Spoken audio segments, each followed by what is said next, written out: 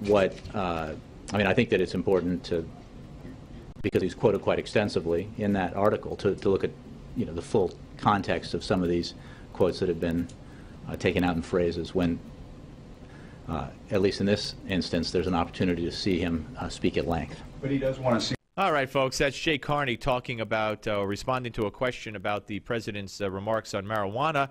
Uh, given to the New Yorker Magazine. Joining us now to talk about that and oh so much more is uh, our friend Jennifer Rubin, columnist uh, and author of the Right Turn blog at the Washington Post. Hello, Jennifer.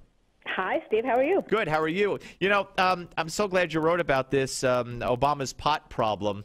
Uh, I, I, can't figure out his logic, and I guess it's because there is none. Uh, here's a guy who, in his book, admitted he did pot so much so that got in the van with his friends that closed the windows. He he would steal the joint uh, when it wasn't his turn, so he could get an extra hit, um, and bragged about it. And now in this article, he, his his logic is he hopes the legalization continues beyond Colorado and Washington State because there, uh, there, there's a disparity in, in the, the marijuana lockups and sentencing. I mean, I, I can't make heads or tails out of it.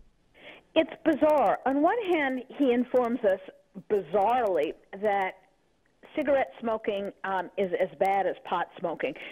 To which I wonder whether the limo driver at the White House is allowed to smoke pot before he drives the president around town. Uh, and then, as you point out, he seems to be in favor of further legalization, but his spokesman, the infamous Jay Carney, comes out and says, no, there hasn't been any change in policy. Yet, if we take him literally and there's no difference or it's just as bad as cigarette smoking, why isn't pot legalized? Why isn't he in favor of this if this is his view? The whole thing smacks of rank pandering to the left and to young people who are completely disillusioned with this president.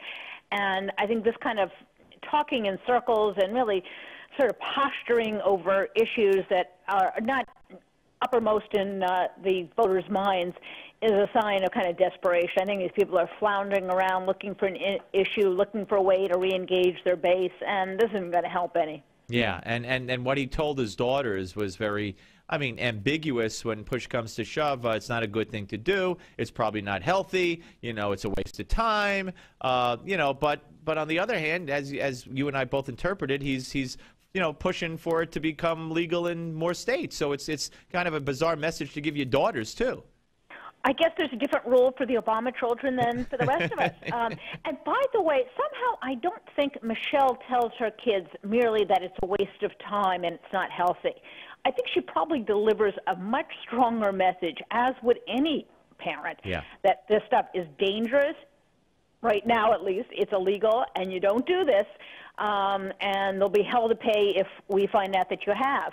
Something tells me that that really is the message, and uh, he has this incredible double standard. Imagine this um, for the way he expects his own kids uh, to behave and the way he expects others to behave. Yeah. And I think this is just rank hypocrisy. Yeah, I agree. We're talking to Jennifer Rubin of the Washington Post here on the Steve Malzberg Show. All right, Chris Christie. Um, you wrote another great piece, Counterpunching Lessons, uh, talking about uh, how uh, the Christie folks are, are, are fighting back, uh, at least uh, when it comes to these uh, ancillary, you know, stories and accusations from one Democratic mayor in Hoboken, particularly.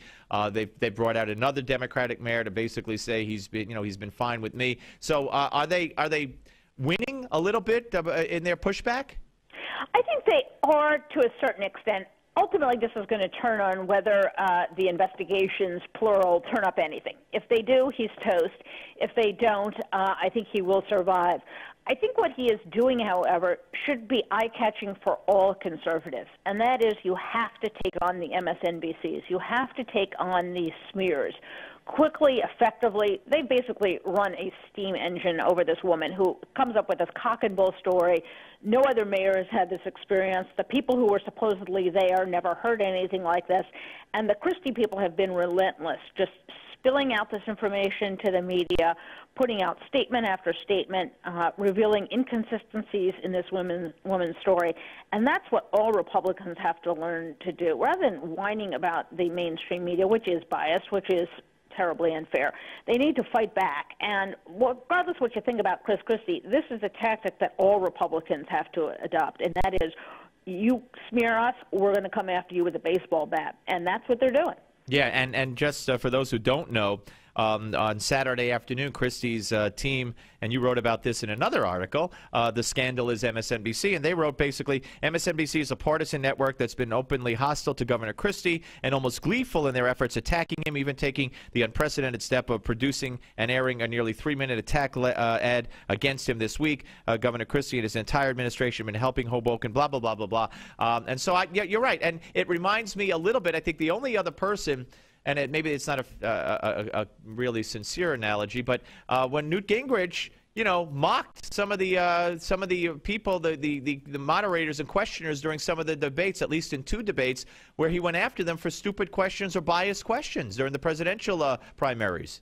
Yeah, I think for particularly for presidential candidates, you have to walk a fine line between not taking uh, incoming fire from these people, and not lying down, and also appearing to be candid and not defensive. And uh, whether Newt Gingrich walked that line or whether Chris Christie is going to walk that line, but I think Republicans tend to err on the side of passivity. They tend to take much too much for too long before they respond, and by then the public opinion has already been uh, set in stone.